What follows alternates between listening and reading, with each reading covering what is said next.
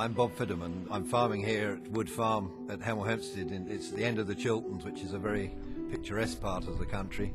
The trial that I took part in was, was comparing the conventional growing of the oilseed rape crop against the genetically modified crop. And it, that was the simple comparison that was going ahead. And the outcome, as far as I was concerned, that was a benefit for the uh, GM crop because it gave a higher yield and it was much easier to manage. We were getting anything from 10 to 15% increased yield from the, the GM part of the crop. Given the opportunity, I'd grow it tomorrow. I, uh, it, the technology was that good. I wish I could still grow the crop today.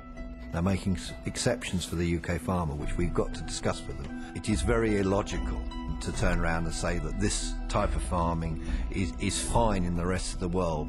We'll be happily importing it, but we're not going to let you take part in it in the UK. So I, as a farming business, are slowly being um, let down and have got more and more difficulty getting back into the situation if and when it changes in the future.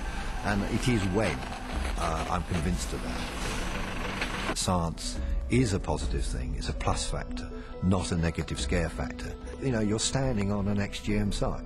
Where are these superweeds that we were told we couldn't control? It's a nonsense.